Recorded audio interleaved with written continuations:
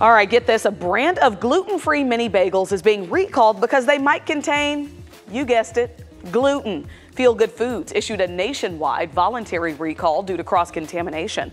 The product is in the frozen section at grocery stores. We have further details on our website, WFAA.com.